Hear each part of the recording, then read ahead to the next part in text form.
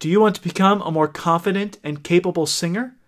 The Musical U team rewinds to past guest experts as we explore singing. Today on Musicality Now. Welcome back to another episode of Musicality Now. I'm Adam Liette, Operations Manager for Musical U. A couple of months ago, we recorded our first Rewind episode of the podcast, and we were thrilled to hear from so many of you who loved the episode, who loved the different things that we brought in, and hearing from our wonderful guests again. So I asked the team to come back to this time explore singing, one of our favorite topics here at Musical U. Now, one thing that we hear from so many musicians is how much they either love or can't stand to hear their own singing voice. It seems to be an either or for many musicians. And yet, the singing voice is the most basic instrument that any of us have and it's the one instrument that we all are indeed born with. And yes, I said instrument, because singers are instrumentalists as well. They just use their singing voice. And I re- can remember back to my days at university when I was studying classical trumpet. My professor instructed us to always start out by singing the exercises that we were getting ready to play. And this was not only in prepared etudes or solos that we were playing, but also routine things like exercises and even long tones. And by singing, we internalize the sound of the pitch through our voice and just use the instrument to project what was already in our head. Easier said than done, right? Now, whether you love to sing or can't stand your singing voice, this episode is full of great tips from several experts that we've had on the show thus far. And we hope it gives you the confidence and desire to find your own singing voice and express your musicality through song. Now, before we go on to all of our wonderful guests we're bringing back, I'd like to first introduce the Musical U team. First, we have Andrew Bishko. Say hello, Andrew. Hello, Adam. I'm Andrew. I'm the product manager at Musical U. And I'm also joined by Anastasia. Hi, everyone. And finally, Zach. Hey, Adam. Great to be here. I'm Zach, community assistant at Musical U.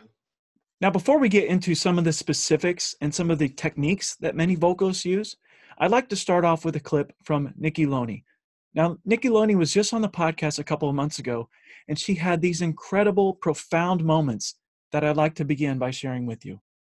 Like, I truly believe on my business cards, it says, yes, everyone can sing.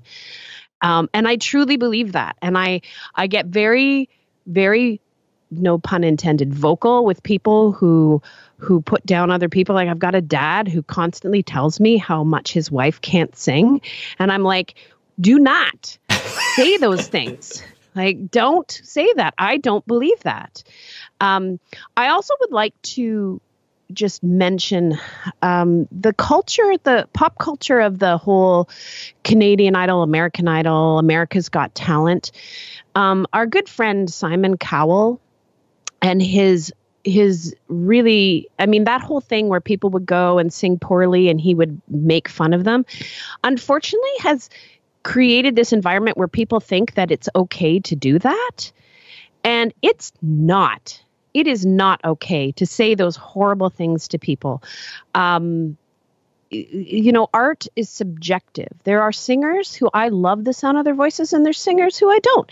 It doesn't mean that they're bad singers. It's just that those sound qualities or their emotion, I, I don't connect with it. But it's not, I have no right to pick on anyone's voice. And when my students bring in songs that they want to sing, and maybe I'm not a fan of the of the vocalist, I, and I'm and this I'm saying this to teachers out there. We do not have any right to criticize the singers that our students res like that connect to. We have no right. We I'm not going to go into a lecture about how it's horrible singing and it's this and it's that. The music and the sounds that bring students to us is so personal and we need to stay out of it. Now, part of the reason I love this clip is a couple months ago, I was talking with David. David's one of our students inside the course Foundations of a Musical Mind. David had always been told that he couldn't sing and that he should never try to sing, especially not in public. And so he didn't. And as a consequence, he never tried to sing in his entire life until he found Musical U and was encouraged to explore his voice once again. Now, during our call, he talked about when he first realized that he could sing. The look of joy on his face when he recalled that moment. It's one of my favorite times in my years here at Musical U. It meant so much to him to come to this revelation and to be able to share that moment with another musician. I think that's why we all get into this art to begin with. Because music is personal, it's not always easy.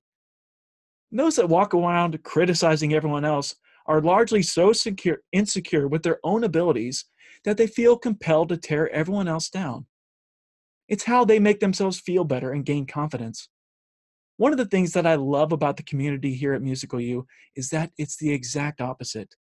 And everyone is just full of encouragement and suggestions, helpful suggestions, for other members to continue to grow. And it really reminds me of two lines from my favorite poem that's called Promise Yourself by Christian D. Larson. Now, I don't want to read the whole poem, and we'll link to it in the show notes because I think it's very powerful. The first line is Promise yourself to be just as enthusiastic about the success of others as you are about yourself, and to give so much time to the improvement of yourself that you have no time to criticize others. I first heard about this poem from my trumpet instructor when I was at university. And what he had us do, everyone in the studio put this poem on the front of our practice journals. It was a constant reminder to walk into every practice session, every interaction with other musicians with this mindset that we are there to help each other, to help each other grow, and to also remind ourselves that these kind of negative thoughts they don't lead to growth. so Nikki's the way she phrased this was just incredible. And I wanted to share it with you because not only is this something that you shouldn't do, but you actually don't have the right to do it. Now, I know some other members of the team are eager to talk about this clip, so I'd like to open up the floor. Andrew, why don't you get us started? Oh, I'm really glad you played that one. Um, when I grew up, I had these uh, nodes on my vocal cords. And if I tried to sing, if I opened up my mouth, I would lose my voice. I mean,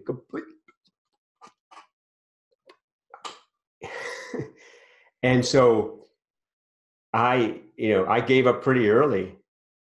And it was a, um, you know, when I get to a point where in my uh, training, I was in the ear training program at uh, uh, New England Conservatory, and I had to sing. Uh, and just discovering that I, I could do it was a huge, a huge deal for me. And I, I, I your story that you told about David was so moving because I remember that moment for myself when I was like, I could do this and I enjoy it. I like it. Um, and not to mention all the uses that singing has, but uh, just the very fact that I could actually do it was a huge move for me. Yes, Adam, I'm so glad as well that you chose that clip. Um, before I saw you pick that clip, I was actually thinking about picking it myself because I think it's really important. Um, I've watched those shows like American Idol and those kind of things, and I always thought like it's kind of funny, it's kind of entertaining, but I never thought that like those negative things really do they have a ripple effect and they carry on through people's lives. And one person's negative, it ripples out. They they spread it. And I think it's really important in all aspects of your life, especially singing, because singing is takes a lot of confidence and you have to come from within you. And it's really hard to let that uh, internal light shine outward. And so we all have to help each other uh, rise up. We have to lift each other up. We can't hold each other back with negativity. When we when we put positivity out and we help other people become successful and feel more confident, then we feel more confident and we become more successful. And then that ripples out. So I think it's super important and super powerful to make sure you're mindful of the negative things you say and don't say those things. Just be positive. It's hard and it takes practice, just like anything else, to be positive, but you can do it. So I'm really glad you chose that. Uh, me too. That was a really, really great clip to lead off with, and everything that was said about maintaining a positive attitude about other people's voices and about your own is so important. And I think um, another takeaway from that clip, which is maybe more indirect, is the fact that like what you may not like in another person's voice might sound like absolute gold to someone else. Like everyone has a unique voice with like cool quirks and idiosyncrasies um, that make their voice special. And I think listening to each individual's voice is actually a really special experience for me because it's authentic, it's theirs, it's one of a kind with like whatever um, unique qualities it possesses, whether it's um, raspy or high or more full or more thin or whatever. Um, your voice is unique to you and it's special, and you have a right to sing, which I think is an important point that a lot of our podcast guests have made. Um, I was really excited to do a podcast rewind volume two episode on the topic of singing um, to hear this kind of thing about how everyone has the right to sing. Um, you should look positively at your own singing voice and encourage others to be the same, to do the same. Sorry. Um, in an episode that furthers this idea and really stood out to me when I first heard it was called Singing That Sounds Good and Beyond with Davin Youngs. Uh, I believe it's episode number 36 of the Musicality podcast. Um, the whole thing's brilliant. He's got so many good insights, but a big aha moment for me came about 10 minutes into the episode. So, here, let's take a listen to the clip now. Yeah, I mean, the, the bottom line is, is that a lot of teachers teach singing in terms of sound and they teach singing in terms of what they think sounds good. And that, honestly, a lot of systems have supported that. And a lot of people don't even know that they're doing it. But the problem with what sounds good is it's not always what's functionally most free for the singer. And so that really, that seems basic when you say to most people, when people come into my private studio space and I say to them, you know, I'm really listening for what's going on in your throat when you make sound people kind of look at me like duh. But what i'm what i'm saying is is that not everyone does that and they don't always know that they don't do it. But when we make sounds there's actual physical manifestation of the sound. There's something happening in your throat. And when we can learn to hear the function of it we can respond to the sound with exercises that would encourage the singer to sing with more physical freedom. And physical freedom always translates into a more beautiful sound. Always. So I love that clip for a lot of different reasons. Um, to give a bit of context, he uses the term functional freedom in there, and it's a term that crops up kind of a handful of times throughout the episode. And to give a bit of an explanation, functional freedom is essentially referring to a state of singing where your throat is not constricted or tightened or tense and you're not in any pain, but rather um, your singing is relaxed and you're working in such a way that feels natural and painless. And the best part of it is that it sounds good. It's the functional freedom is basically the physical comfort and ease and joy really that you should feel when you're singing. Um, so a bit of background context about me which might explain why i like this clip so much. Um, i'm a singer songwriter who can sing reasonably well i think and in tune although listening back to recordings of my own singing voice sometimes is still a little bit weird for me. Um, however when i was first starting to sing i noticed some discomfort and even sometimes exhaustion after periods of singing and first, I thought the issue was with my lung capacity. Maybe I'm not breathing properly. Was I taking in too little air or too much? What's going on? Um, and back then, I think I thought pain was an indicator of a good practice session and that the sound coming out of my mouth was the only thing that mattered. And I gave very, very little thought to the mechanics behind the sound and whether it felt good to make that sound in the first place. Um, I didn't know that, in fact, physical discomfort often translates to a worse sound. Um, there's a certain feeling that you might be familiar with when you're singing. It's one of tension. It can feel like a lump in the back of your throat. Sometimes it's even painful. And this is what's referred to as dysfunction because singing is really not supposed to hurt. Um, again, pain is your body signaling that something is wrong. And the great thing that Davin highlights in his clip is that you can troubleshoot this. Um, you can troubleshoot dysfunction in your singing voice the same way that you could with instrument technique. For example, why do my wrists hurt when I'm practicing the piano in this way? Okay, maybe I'm holding my elbows at the wrong angle. Maybe something's going on with my wrist that's wonky. And in the same way, you can troubleshoot um, issues that you're having when you're singing, and you can get yourself closer and closer to this functional freedom, this comfort that you should feel when you're singing. And along the way, you'll notice that you're going to start sounding better too. So really, it's a win-win. And um, another thing I love about that clip is that Davin highlights kind of the beauty of a functionally free voice and how the more physical freedom you have, the nicer the sound. And this kind of nicely ties into Adam's clip and what Nikki was talking about in her episode that like your voice has natural beauty. It has its own timbre, it has its own um, special quirks. And really, what you can do to make it sound better is just get closer and closer to functional freedom and comfort.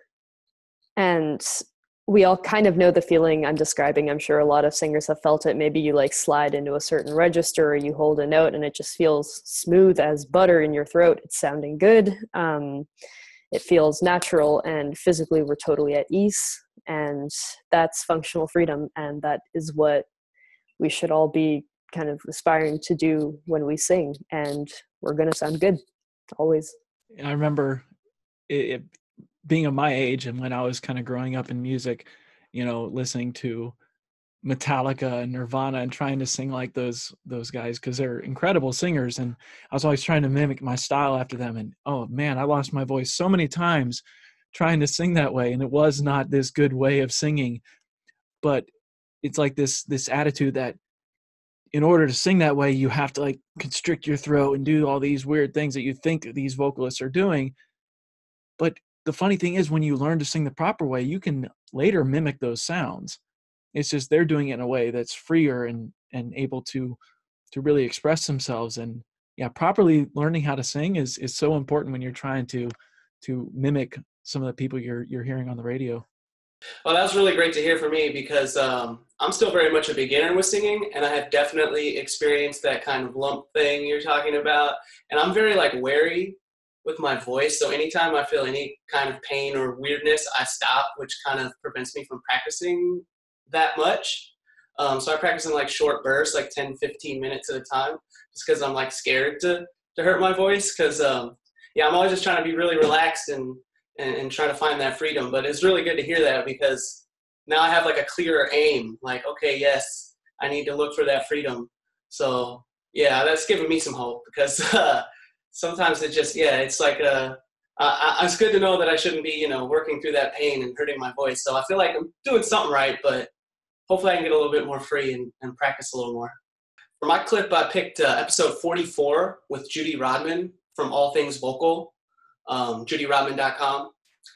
She is super inspiring. The first time I heard that episode, I listened to it. After I was going to listen to it, I was like, that is like the coolest person I've, I've ever heard of. I, I want to be her friend. But uh, so there's a lot of great stuff in there. But this uh, clip in particular talks about her experience with being a jingle singer um, which is pretty fascinating. So go ahead and listen to that. Right. Uh, I think I was about 20 when I got the staff job, this the staff uh, jingle singing job, and at that time, these were this was the 70s, and uh, almost every product you can imagine had a jingle that went with it. Back in those days, it's not that way anymore. But also, all the radio stations uh, of course, needed jingle packages and needed uh, radio IDs, W, ba you know, that kind of thing. And so I had to learn to sing, you know, there, there was in the 70s, there was no pitch fixing unless we did it ourselves. And so, you know, there was the, the, uh, editing involved blood because people, you know, they, they, uh, they used razor blades to splice the tape together if they wanted to edit something. So we tried to require as little blood out of our engineers as possible. and so we had to learn to do cutoffs precisely, to shape vowels like the group leader said, you know, determined to do it and make that a quick decision to uh, pronounce things exactly the same, to sustain uh, notes exactly the same, to fall off, to you know swell, to and all of this was reading music. Because of course we can't memorize that much stuff. From 8.30 in the morning 3.30 and each day it was new stuff. So uh, i had to you know learn to be a ninja reader of of uh, you know vocal manuscript and all that and then uh, it, it, was just an amazing in fact i'll tell you the first thing i learned what uh, from my group my first group leader that was uh, in the jingle singing was that if i was just a tiniest bit under zero degrees as far as the pitch went, just a tiny bit low. Uh, he said, do the inner smile on it, do an inner smile on it. And it lifted it right in the middle of zero. So that's the first thing I learned from jingle singing was how to fix a slightly flat pitch. Yeah, so there is a lot of stuff in that clip. Uh, first of all, anything that deals with recording and engineering and mixing before like computer digital workstations is totally fascinating to me because that they had to do some real hard work. Um, and just the whole thing she worked from 8.30 a.m to 3.30 p.m every day had to sight read new songs every day and had to hit every single note exactly perfect every time pretty much. That is crazy incredible. She said ninja she had to reach a ninja level and that is not an understatement because like i'm a beginner singer. I've tried some sight singing and working on that and it's crazy hard. And to be on that level to where you could just execute it with like machine precision is crazy. Because like now we have all kinds of plugins. We can fix things so easy. You can use audio envelopes to change the length of notes. There's just so many things you can do. There's all kinds of pitch correction software. I just recently saw this pitch correction at a, a plugin that actually fixes your pitch while you sing. So you don't even have to record it and fix it later. It adjusts it. It has like a tuner on it and it adjusts it right as you're singing. And so that's like Judy had to put in the work to be really, really good. And I also love those old radio jingles. I think that's so cool because another thing they had to do was emulate the style of popular music. So she had to be able to sing in every single kind of style, had to do it with precision. And that is just like mind blowing fascinating to me. And yeah, I was like, wow. And then that little tip at the end where she talks about the uh, inner smile, I use that all the time. That works so well. Anytime you're a little bit flat, just just give it a little lift, just brighten it up a little bit, and it's usually right there. So that Judy has, man, she's crazy cool. that stuff is crazy. I'm glad I don't have to get blood on my fingers. I like to do recording and engineering and stuff too. And I'm glad I don't have to use razor blades. I can just use a mouse. So kind of take that for granted. And then you hear about these old stories where they had to work all day to, you know, those songs are like 20 seconds. So, but I'm sure it took them crazy amount of time and work to be that good at doing them. I think this is kind of fitting. We just had Beatles month last month, and we talked to Kenneth Womack, who talked about how the Beatles had to record all of their songs and the amount of overdubs and editing they had to do to make those incredible records because they they didn't even have 16 track recording. Early Beatles records were on four tracks, and then later they upgraded to eight tracks. And wow, what a revelation that was to have eight full tracks to record music. I mean, even like Bohemian Rhapsody, the recording of that the, the amount of overdubs that went into that process. And I also think when when you look at standard music that we hear today, there are all those vocal fixes in there. And so if you're hearing your favorite artist and thinking, how did they sing like that? There are a lot of very famous, very accomplished artists out there that cannot sing in tune all the time. They rely on those different plugins and those different tools to make their records sound good. So I think another takeaway from that is don't be so hard on yourself if you find yourself a little bit out of pitch because a lot of these people that you look up to and are learning from there's a lot of stuff being fixed in the mix and in the recording studio. Yeah i was going to add on to what you're saying about like the pop singers and stuff that is no joke like it's easy for them to record something 50 times and then splice together the best little chunks like each word of a, of a verse might be from a different recording take and it might be adjusted pitch like sometimes when you're mixing someone's vocals, it's it's a it's a tedious task to go fix all of the pitch mistakes and the timing mistakes, and you can just do it quick, and then it's pop. Sounds great. Now we're getting all down on the pop stars. Now we shouldn't do that. Nikki Loney said, "Don't do that." All right. so um, they're singing and they're being recorded. They're sounding good, and I'm not. You know, so but I'm singing and having fun. I had a, um, uh, the matching pitch has always been a challenge for me. Uh, and uh, I was really encouraged listening to episode number 76. And Christopher was, and Jeremy were talking, Jeremy Fisher, they were talking about how the voice is uh, it's never right there. It's always moving a little bit this way or that way. And um, uh, the nature of the voice.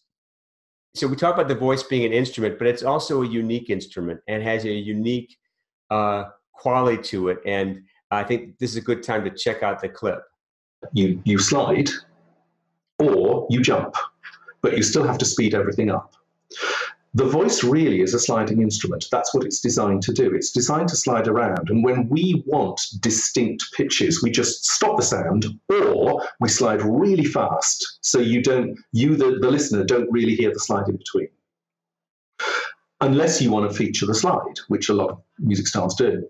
So you're looking at sliding around. And the best instrument for that is the trombone. So I work with people to sing while they're miming playing the trombone. So the lower notes are further away from you. And then you bring the slide up as you go higher, so the higher notes get closer to you. And that works really well for a lot of people because, again, it's physicalizing what pitch is outside of what you're doing. Okay, so it's interesting because he talked about other instruments uh, also, like the piano, how the high notes are on the right, the low notes are on the left. Or if I'm playing my saxophone, I have all my fingers down and that's the low notes, and I lift them up, they get higher. If I'm playing a cello, you know, the the the higher up my finger is, the lower the note, and then as I go down like this with my finger, the notes get higher. So each instrument has its own way of uh, of physically modeling pitch. And with the trombone, you know, it's really easy. I can go, whoa, you know, slide, and it is so close to the voice and it was so reassuring. It's like okay you know it's not just me where i can't go boom boom boom. That's the way the voice is. Uh, and that also gives you t- gives me tips in how i can be more accurate. Um, i actually used this exercise uh, it was inspiring for the new revision we did of the match pitch module inside musical u and in uh, uh foundations of a musical mind uh, where we have this uh, these match pitch exercises where you're sliding into the note, you're sliding down into the note, and it just you learn so much about your voice by sliding up to the pitch or sliding down to the pitch that you're looking for. Uh, and you know, so much of it is like you're trying to calibrate and find where this is. The other thing about the voice is not only is it sliding, but the different places in your range, it just feels different and you know like if you're reaching for something and you're and you're pushing for it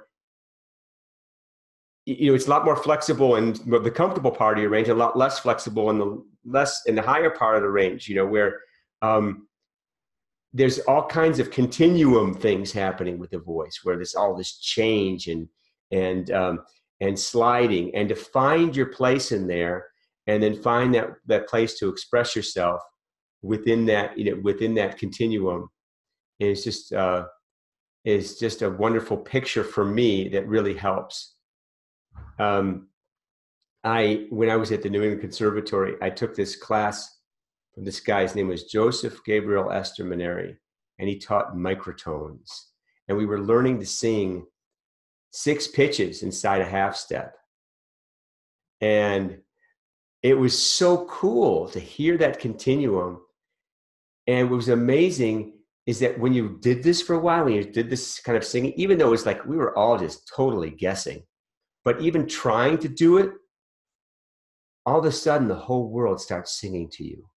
you start to hear the pitch in everything. You know, the car driving by, the door slam, the, the you know, a drum doesn't sound like unpitched anymore. You hear all the pitches. You start to hear all those frequencies. They come alive when we started to work on that, and um, that was also, you know, that was about the time when I was uh, starting to sing because I had to.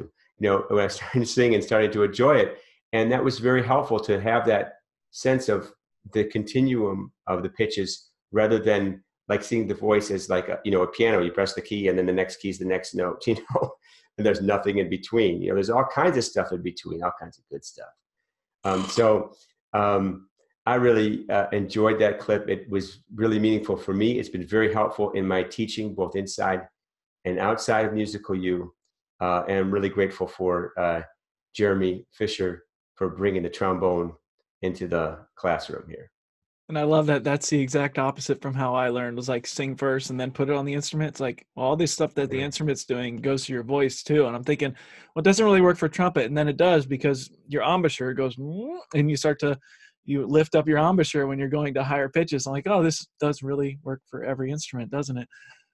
You know, um, one thing that happened recently, my boys were playing with this piece of PEX pipe, this long piece of plumbing pipe that I had and uh, I don't know how this fits in, but it was so cool because he started singing into this pipe, and just naturally, because the back, the way the, the, the pipe reacted, he would be hitting harmonics. So his voice would jump to these different harmonics like a trumpet.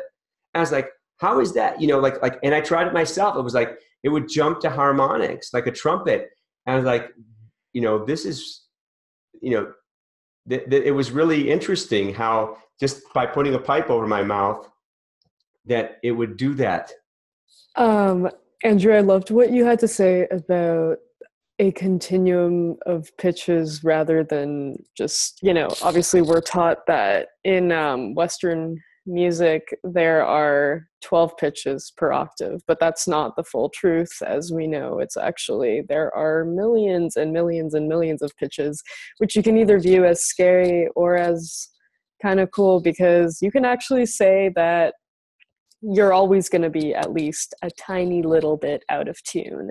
And what happens is with more and more practice of singing, it's the calibration that Andrew just talked about. You get a better and better idea as you sing more and more of what the correct pitches are. And in fact, even myself, I correct as I sing. Um, a lot of the time, I will land on the wrong note and I just kind of pitch up, pitch down, adjust. And it's like it's a constant game of adjusting. And this doesn't mean that you're a bad singer. This doesn't mean that you can't match pitch. In fact, if you land on the wrong note and you can pitch up or pitch down to get to a place that sounds more correct, um, you know, that's a testament to your talent as a singer and to the fact that you can listen to yourself and correct accordingly. And um, there's no such thing as really the right note. And we talk about this a lot also in the context of improvisation that if you land on a wrong note, you can very easily bend it up or bend it down. And guess what? That's a cool singing embellishment. That's a really nice little sound to throw in. So, um, all this to say, don't. I don't think it's a great idea to get so focused on getting the pitches correctly that you forget to have fun with it. And even something a little bit out of tune can still sound great, first of all. And second of all, can be easily corrected and you get better at this the more you practice it. Yes, yes. I love that episode with Jeremy Fisher as well. There was a lot of, uh, I don't know, standard standard idea breaking things in there. He was he was breaking down some common ideas that I that I had myself and and one of those things actually one one of the first vocal things I got was don't slide into a note. It it was like if you don't hit that note right, then you did it wrong and you can't slide around and fix it. You have to you have to go back and get it right. Uh, and so for me, incorporating, and, I, and when I heard that episode of Jeremy Fisher, I started incorporating the sliding, and it's so much better. Like if you're trying to jump between, I don't know, you're trying to go fifth, you're trying to go an octave, it's so much easier to, to slide between them a few times or however, just have fun with it. And then you can start to kind of jump between them a little bit more. And also there's this idea of static stretching versus dynamic stretching. Static stretching would be where you hold a position. Dynamic stretching is where you move in and out of it. And when you move in and out of something, say like a note, instead of just going to your highest note and holding it for as long as you can, you kind of go in and out of it with a nice slide. and that gives you control over your whole range more. And it also allows you to increase your range with more relaxation, which I think ties in to Anastasia's clip about that freedom that you're trying to achieve. So by using the slide, you get more control over your range and you get more relaxed and you have more freedom with your voice and you get to know your voice more. So that sliding is super powerful. Absolutely. You know, it was something I wanted to bring up and it, it wasn't really totally touched on on these episodes. Uh, but uh, if you're, if for the people who are still listening, who are saying like, well, what if I, you know, you're assuming that I want to sing. um, and and some of you out there don't want to sing, and I get that because I know it was just so painful for me. Uh, still is at certain places, but um, but singing, you know, you don't have to like sing for anybody, uh, but it's it's a powerful tool. I know that you know um, Adam brought that up in terms of practicing the trumpet, um, and I'm bringing that up in terms of my musicality, in terms of like, uh, I do a lot of transcribing. I do a lot of um, learning by ear when I'm uh, picking out songs for a band. And I've been, you know, doing it for years for the different bands I've had because there's just no written music for it. Or if I want to change something or do an arrangement and being able to sing and, you know, get kind of halfway close to a pitch um, is such a valuable tool for your musicians your, your musicianship no matter what you're doing if you're playing an instrument if you want to play by ear the voice is what gets you from this to that. You know the voice is like that the voice gets you from what's here to what's you know here your fingers or you know whatever. Um, the voice gets you from one place to another. Uh, and uh, so if you've actually been one of those people who don't want to sing but suffer through this episode anyway, you know all these tips are really good for you, and um, it's great to sing. Um, and if you're Musical U member, we'll help you out. We'll get you singing. Yeah, I just wanted to second that emotion real quick. I can definitely attest to the fact that once once I started singing and practicing singing more, which I was afraid of, my ear has definitely increased. I can transcribe melodies easier, rhythms too.